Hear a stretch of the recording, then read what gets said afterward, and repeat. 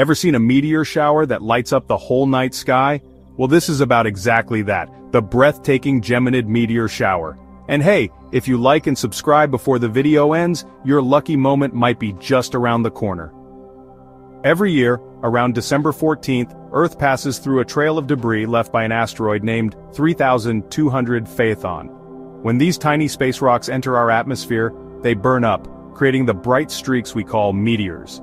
The Geminids are one of the most active and reliable meteor showers, with up to 150 shooting stars per hour at its peak.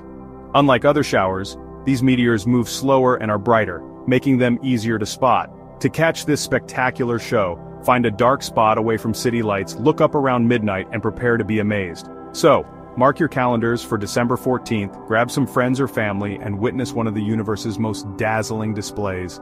If you enjoyed this cosmic journey, smash that like button and hit subscribe for more incredible space stories.